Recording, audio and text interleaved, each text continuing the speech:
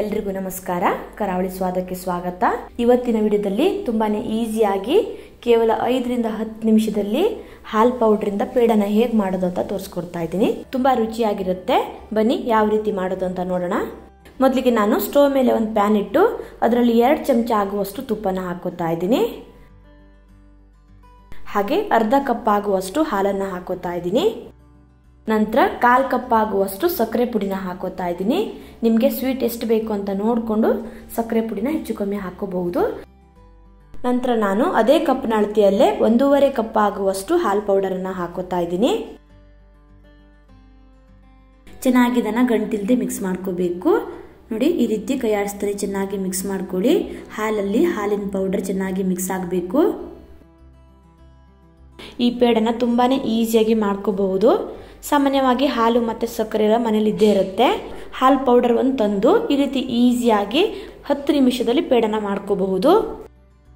ಇನ್ನು ಸ್ವಲ್ಪ ಗಟ್ಟಿ ಆಗೋ ತನಕ ಗ್ಯಾಸ್ನ ಕಡಿಮೆ ಉರಿಯಲ್ಲಿ ಇಟ್ಕೊಂಡೆ ಈ ರೀತಿ ಕೈ ಆಡಿಸ್ತಾನೆ ಇರಬೇಕು. ಜಾಸ್ತಿ ಹಾಲು ಹಾಕ್ಕೊಂಡ್ರೆ ಇದು ಗಟ್ಟಿ ಆಗೋ ತನಕ ಸ್ವಲ್ಪ ಟೈಮ್ ಜಾಸ್ತಿ ತಗೊಳುತ್ತೆ. ತುಂಬ ಗಟ್ಟಿ ಆಗೋದು ಬೇಡ. ನೋಡಿ, ಇಷ್ಟು ಗಟ್ಟಿ ಆದರೆ ಸಾಕು.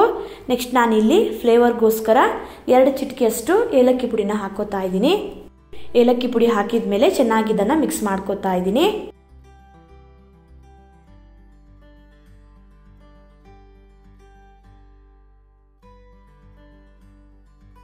ನೋಡಿ, ಇಷ್ಟಾದರೆ ಸಾಕು. ನಾನು ಇವಾಗ ಸ್ಟೋವ್ನ ಆಫ್ ಮಾಡಿ ಒಂದು ಪ್ಲೇಟಿಗೆ ಹಾಕಿದ್ದನ್ನು ತಣಿಲಿಕ್ಕೆ ಬಿಡ್ತಾ ಇದ್ದೀನಿ. ನೋಡಿ ಇದು ಸ್ವಲ್ಪ ತಣದಿದೆ. ಕೈಗೆ ಸ್ವಲ್ಪ ತುಪ್ಪನ ಹಚ್ಕೋತಾ ಇದ್ದೀನಿ. ನಂತರ ಸ್ವಲ್ಪ ಮಿಕ್ಸರ್ನ ತಗೊಂಡು ಈ ರೀತಿ ಉಂಡೆನ ಮಾಡ್ಕೋಬೇಕು. ನಿಮಗೆ ಯಾವ ಸೈಜಲ್ಲಿ ಪೇಡ ಬೇಕು ಅಂತ ನೋಡಿಕೊಂಡು ಅಷ್ಟು ಮಿಕ್ಸರ್ನ ತಗೊಂಡು ಉಂಡೆನ ಮಾಡ್ಕೊಳ್ಳಿ.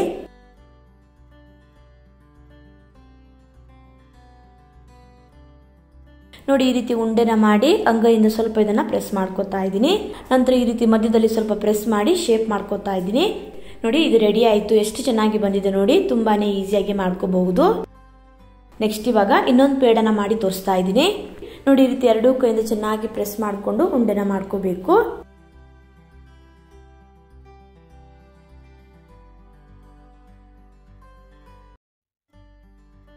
ನೋಡಿ ಇದು ಕೂಡ ರೆಡಿ ಆಯಿತು. ಎಷ್ಟು ಈಸಿಯಾಗಿ ಮಾಡ್ಕೋಬಹುದು. ನಾನಿಲ್ಲಿ ಎಲ್ಲ ಪೇಡವನ್ನು ಮಾಡಿ ಒಂದು ಪ್ಲೇಟಲ್ಲಿ ಇಟ್ಕೊಂಡಿದ್ದೀನಿ. ನಂತರ ಪೇಡದ ಮಧ್ಯದಲ್ಲಿ ಪಿಸ್ತಾನ ಇಟ್ಕೋತಾ ಇದ್ದೀನಿ. ಪಿಸ್ತಾ ಇಲ್ಲ ಅಂತ ಅಂದರೆ ಗೋಡಂಬಿ ಅಥವಾ ಬಾದಾಮಿನೂ ಕೂಡ ಇಟ್ಕೋಬಹುದು. ನೋಡಿ, ತುಂಬಾನೇ ರುಚಿಯಾದ ಮಿಲ್ಕ್ ಪೌಡರ್ ಪೇಡ ರೆಡಿ ಆಗಿದೆ.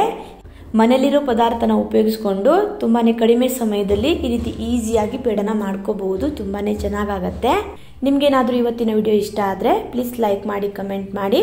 ನಿಮ್ಮ ಫ್ರೆಂಡ್ಸ್ಗೆ ಫ್ಯಾಮಿಲಿಗೆಲ್ಲ ಶೇರ್ ಮಾಡಿ. ಯಾರೆಲ್ಲ ಸಬ್ಸ್ಕ್ರೈಬ್ ಮಾಡದೆ ನೋಡ್ತಾ ಇದ್ರಲ್ವಾ, ಅವರು ಕೂಡ ಪ್ಲೀಸ್ ಸಬ್ಸ್ಕ್ರೈಬ್ ಮಾಡಿ.